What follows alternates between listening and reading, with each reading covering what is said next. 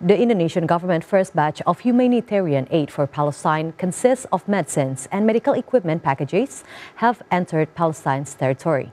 Has been distributed to civilians who fall victims in the conflicts that has hit the Gaza Strip since October.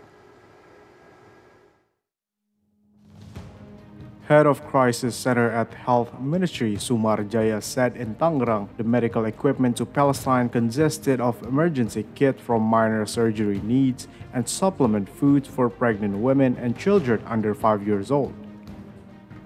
According to him, the Indonesian government has sent the second batch of humanitarian aid consisting of medicines worth 2 million US dollars for the Palestinians.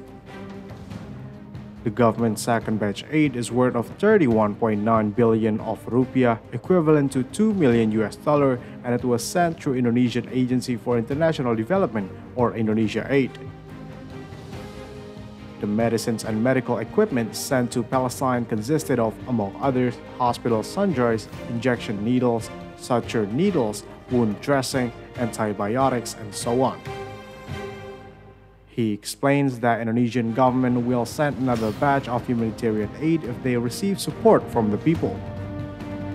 The health ministry will also deploy a medical service team to help Palestine people, he concludes.